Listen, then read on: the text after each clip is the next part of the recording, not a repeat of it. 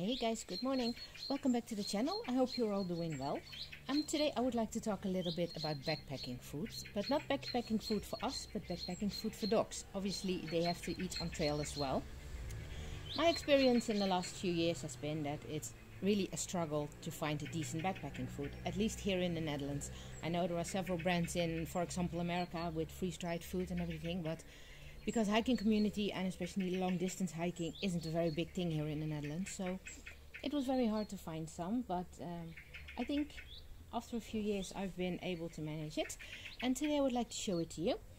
Um, what you often see on trails is that dogs carry a backpack with their own food.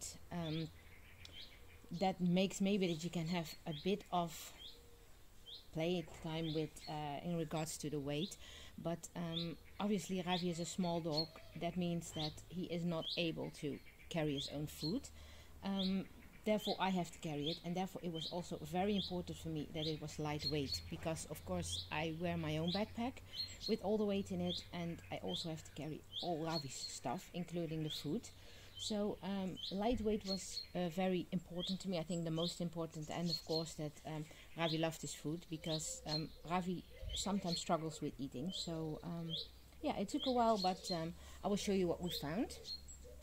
For his main food that he gets in the evening, I turned out to come to this German brand. It's called Pamico and um, that is raw raw meat and uh, vegetables and it's being freeze dried so it is very very lightweight Ravi is usually being fed raw but of course I cannot take that with me on the trail.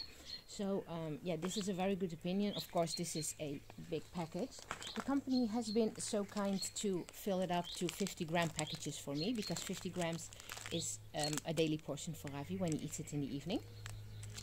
The with this food uh, you put it in a bowl and um, you put water on it. Can be cold or can be lukewarm water and you let it soak for about 15 to 20 minutes and uh, yeah you've got a meal that really um, Ravi really loves. This um, contains chicken and lamb and different kind of vegetables. Hope you can see it.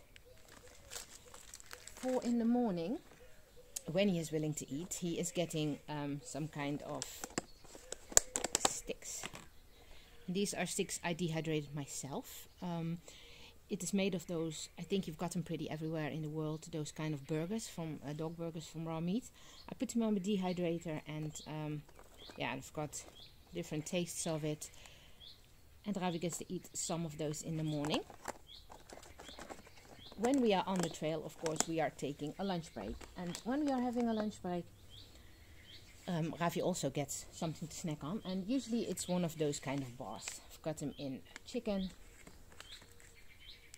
lamb and beef, and beef, and they are by the brand Edgard and Cooper, and they are called Busy Day bars, and they are packed with 35% of protein, so it gives him a little bit of energy on the trail. And um, yeah, I always find that when he has one of those after lunch, he always is a little bit more speedier, has a little bit more energy.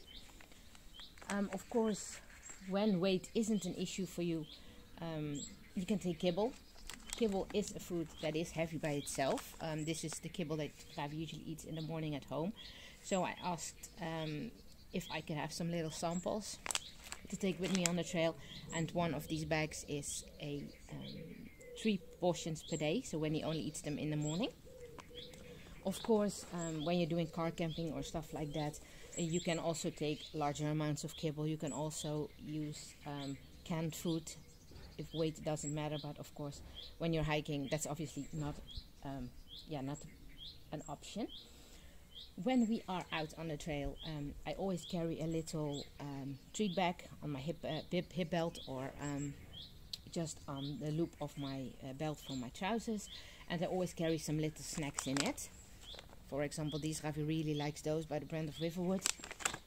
Also got some chicken cubes and some trainers, lamb and rabbit. Um, in my opinion, training does not stop on the trail. So therefore, I always would like to take snacks with me that I can give him when something goes really well on the trail, treat him during the hike, and uh, also a little bit of motivation. Here I also choose for snacks that are very, very lightweight. And you've also got these kind of snacks. These are also 100% freeze-dried. For example, here you've got beef liver. And here I've got lamb lung.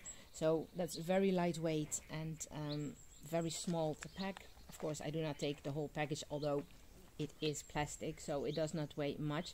This whole jar weighs 50 grams, so not much at all. And this one weighs 40 grams, so it's even 10 grams lighter. When we are at the end of the trail, um, Ravi always gets a treat. He knows that, he loves it, and that is one of those beef sticks. Um, you obviously saw them on all of my videos that at the end of every hike Ravi gets one. He knows that fine for me. These weigh only 12 gram each, so not much either. You've got also as an alternative these kind of strips by the brand of Premier. They are single package, so yeah, I know it is a little bit more plastic, but if I repack everything to uh, Ziploc bags, I have the same problem. These are not heavy either, uh, they weigh 10 grams each, so yeah, that, these are all very lightweight snacks and very easy to take on the trail. In my opinion, uh, it's also very important, like I said, uh, in my opinion, training does not stop on the trail to have some really jackpots for your dog. And for Ravi, that's everything that includes cheese or chicken. So I've got some of those. These are um, pre-cooked and vacuum sealed uh, chicken fillets. Not heavy at all either. These are four pieces, 40 grams, also nothing in weight. And those from the same brand as his beef sticks, but these are little slices and they have pieces of cheese in it. So, um, yeah, a big hit by Ravi. When you are at camp, um, I sometimes think when the evenings are a bit longer, it's good to have your dog something to snack on. And then you might think, well, snacks are way too heavy to take. Well, most of them are, but I have been able to find a few that aren't. And for example, those are uh, rabbit ears. Not heavy at all. A whole package weighs 100 grams. And um, if you would like to give your dog a snack each evening, this will last a whole week. Same on those fish strips. They are uh, dried salmon, pure salmon. And one of those packages comes in at 70 grams. So um, also lasts a whole week and this for example is horse lung. And um, yeah lung is a very lightweight treat. You also saw it in the little jars that have the little cubes of lamb lung. This is something that Ravi can chew on. And um, this whole package weighs 150 grams. Um, of course I'm not taking the whole package. Um, as you can see the pieces are very very big especially for a small dog like Ravi. So um, it's easy to break up and therefore take two or something of those. And he has something nice to chew in the evening in the tent um, and of course, food has also to be uh, given into something. And I used to be uh, taking these kind of bowls. I think everybody knows that. This kind of pop-up bowls. Got one for his food.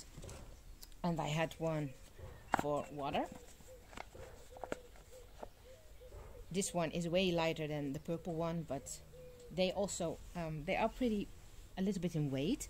And uh, this year I discovered at the website treadlitegear.co.uk, I discovered those balls. They're especially made for dogs. They are by, uh, by the Dyneema stuff, so really lightweight.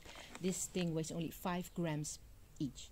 So, yeah, that's nothing. I have one for food, I have one for water. Ravi can use it during the trail or uh, when we are at camp. I can also put one with the tent. Do not forget to take it inside because if it gets empty, it will blow away. And for Ravi's water, he has his own Nalgene bottle. Um, we each carry one, and that means that we have two liters of water in total, one for each of us. And um, yeah, well, we are hiking in the Netherlands, so no wilderness or something for us. Civilization is just around the corner, everywhere you walk, and uh, we are able to fill up our water plenty of times during a hike. And um, therefore, I also don't have to take extra liters of water, water filters, and stuff like that. Um, that's a luxury we have, although I would love to have some more wilderness here as well. Well, this was a quick overview with some ideas that you can give your hiking dog when you go out backpacking. I hope you've got some ideas about it, and uh, in case you would like to know anything more, please let me know. And I would say, we'll catch you on the next trail.